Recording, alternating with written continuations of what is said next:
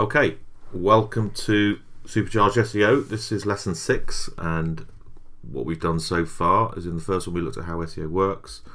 Then we've looked at the breakdown of a site. We've covered working with images, server speeds, a little bit about SEO history, and in this one we're actually going to show you line by line how to SEO a site and a page, uh, and then put it right through into practice and just check it works. So next lesson after this, building powerful pyramids to make sure when you get it there, you hold it there. Then lastly, the perfect landing page in action. So let's go. So what we're going to do is we're going to use an example for one of my own sites to find some good keywords. We're then going to identify some strong images, use them on a live site and see if we can actually deliver the results. So I tend to use SEMrush um, for good keywords. It's one of those ones that works really well. So then we're going to use an image, go through to an image library and get some good images that work. We'll add them to the site and then we will go back and improve the SEO in all the areas we've shown you so far. But the good thing about it is it's a live example.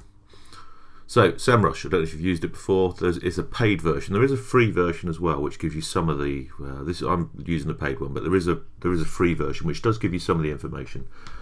Um, so the main thing where you, you need to start is what you want to be found for. What's the key search term that you're expecting someone to put into Google in order to find your result, uh, find your site as a result.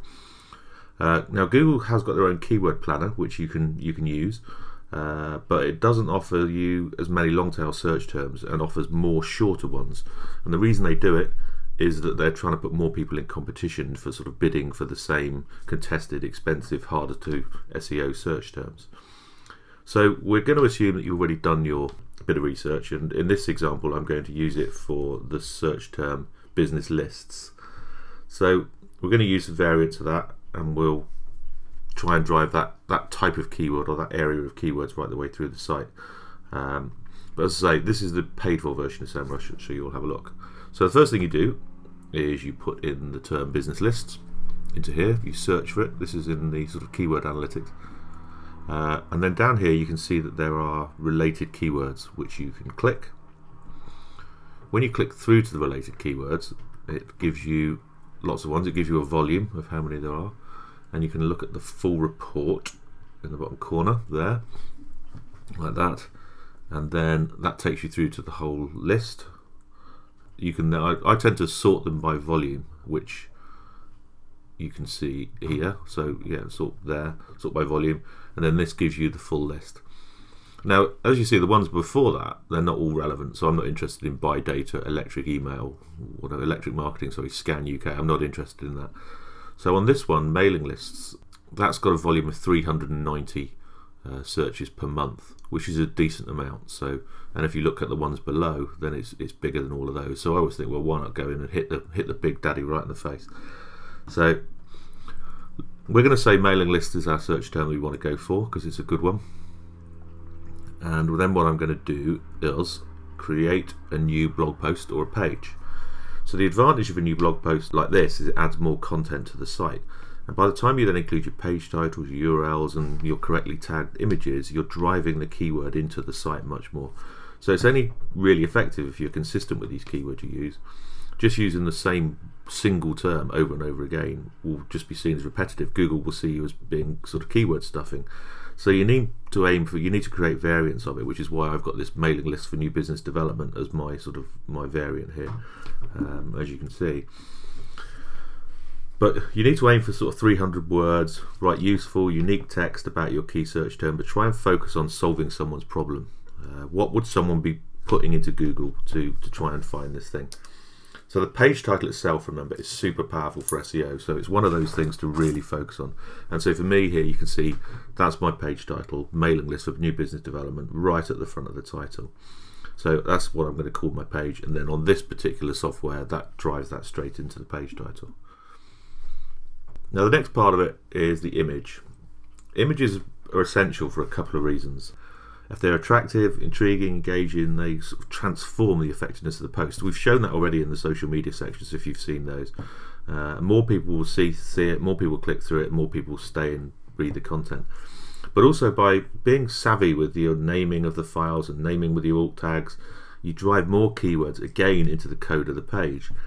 Uh, and that will lift the ranking for it. Again, if Google is looking for a page that's about mailing lists for new business, and your page is full of it into the image titles and all over the copy as well, and the whole thing is about it, then you've got a much better chance of that page being ranked. So if you own your images, that's great. But if you don't, there's three image libraries I use which are which are free or very reasonable, and they are very good. So the ones I would sort of always look at first are Pixabay, Unsplash. Um, those are two a couple of good ones. Twenty20 is a paid for one, but it's uh, it's very very good value. I think images there tend to be about twenty dollars, uh, but they're they're pretty unusual and they're sort of user generated as well. So remember, I'm looking for a, a new business uh, search term or sort of mailing list search term. I've put in the search term laptop into this one because that's what I wanted to have a nice sort of laptop image.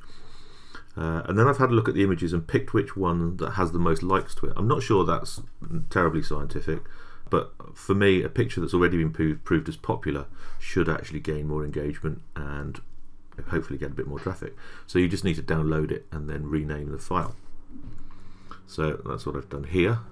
Uh, so you can see there, I've called it mailing list for new business development, JPEG.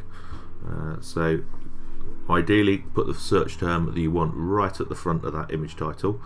Uh, and this is the bit that's often overlooked. You can see all those ones below, which are screenshot.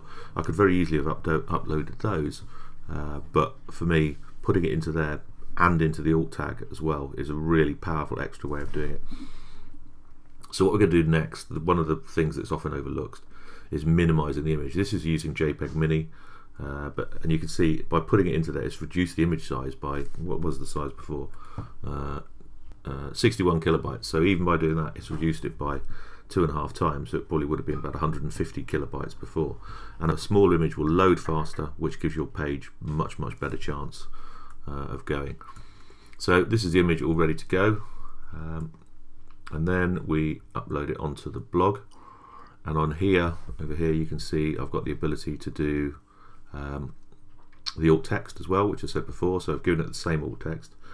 Uh, and that's alt tags are one of those things that's really, really easy to overlook. But again, if the file name says mailing list for new business development and the alt tag says mailing list for new business development, you've got mailing list for new business development into that page twice, as well as it being on the page title as well. So with some CMSs, like WordPress, you also get to add a description and a caption, which appears under the image on itself. And if you can, why not throw it in? It certainly can't hurt. Then with most CMSs again, WordPress, you can edit the URL of the page. So I'll get this one on here, as you can see, to be uh, down here. You can't see it because it's fallen off the end. Uh, mailing list for new business development.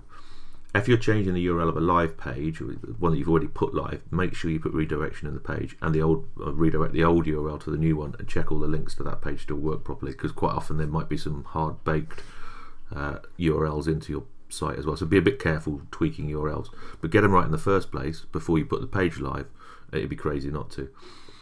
So you've got your page title here, which we've seen. Uh, meta description, uh, we've got 160 characters to play with.